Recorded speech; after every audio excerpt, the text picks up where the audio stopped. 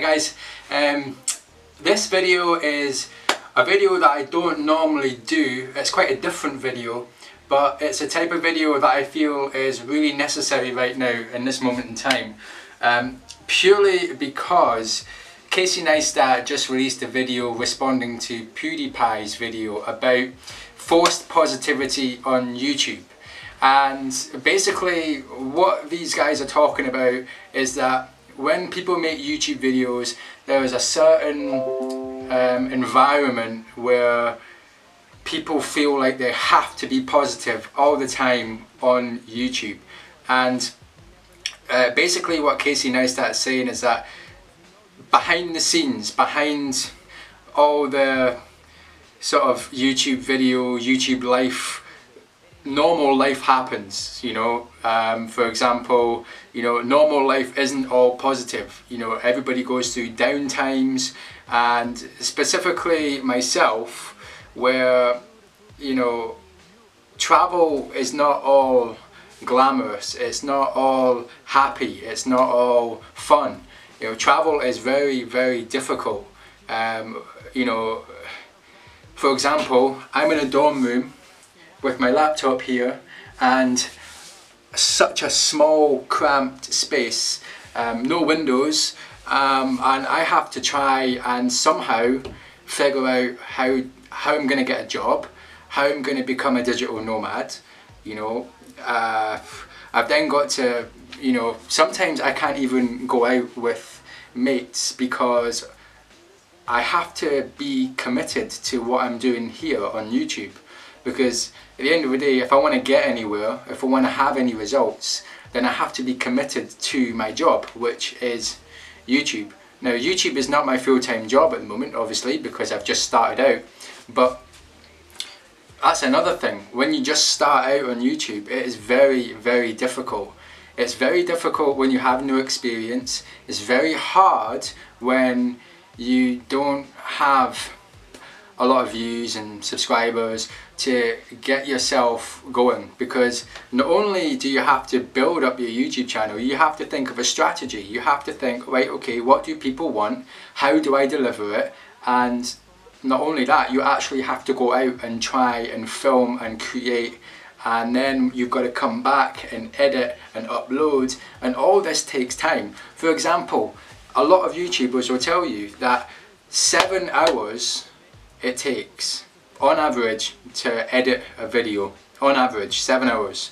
Um, and if, if, you can imagine seven hours so imagine you start at 6 a.m that would take you to 1 p.m you've then got to film and edit again and upload.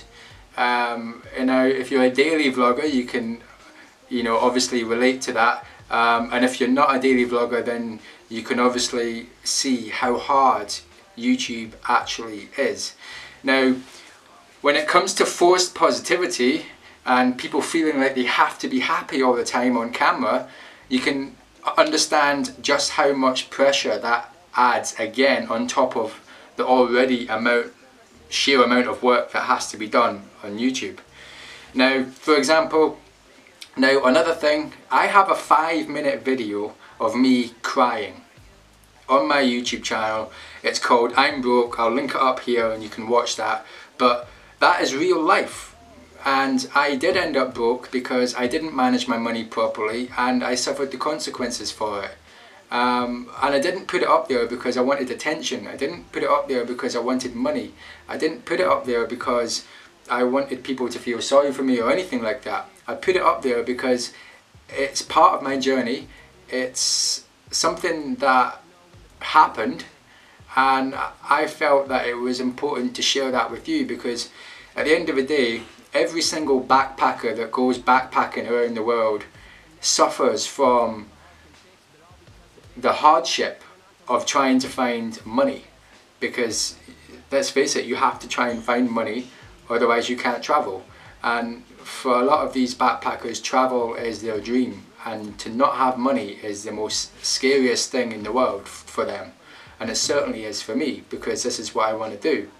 Now another thing that I want to talk to you about is um, a film and it's a film where Will Smith is the main actor in it and it's a true story and that film is called The Pursuit of Happiness. Now that film portrays real life.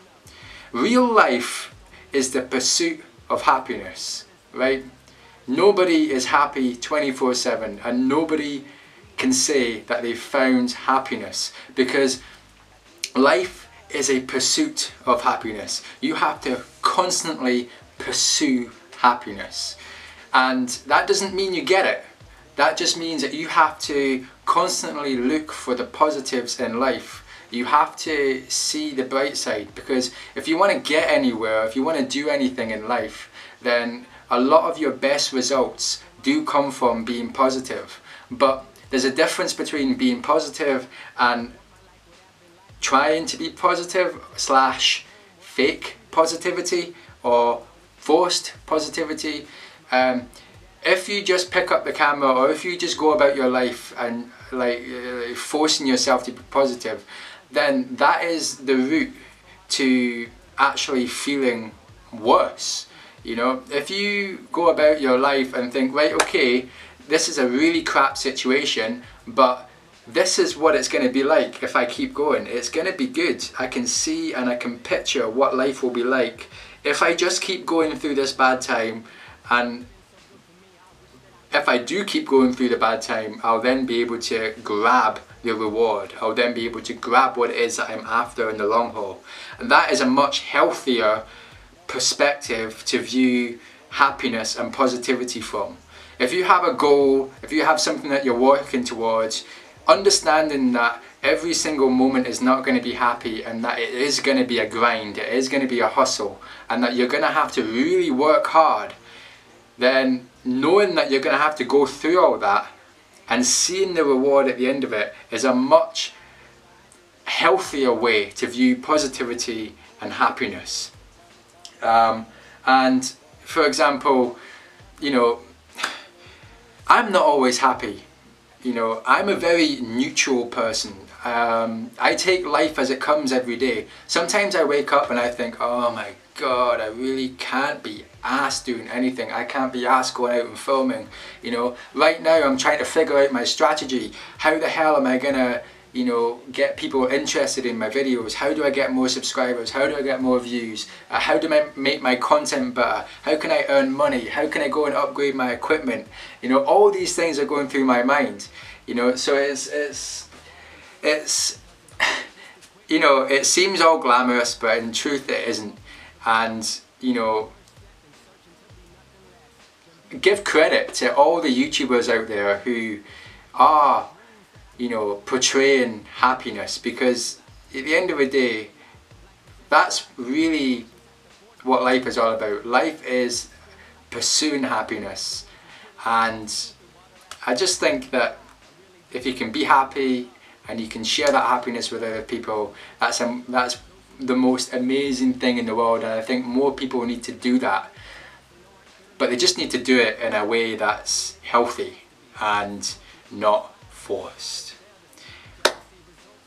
yeah I think that's basically my response to Casey Neistat's video and obviously PewDiePie's video because that's who Casey Neistat responded to. So I will definitely link those two channels and videos in the description of this very video that you can go and check out. Um, also, also I have to mention that this is not about mental illness. This is not about that. This is just about highlighting the fact that you don't need to force happiness on yourself you know, you can be real, you can share your reality with people, and you don't need to be scared about doing that. Um, you know, if you are suffering from mental issues, mental health issues, you know, there's I'm going to leave some links in the description that you can go and check out. YouTube is an awesome place.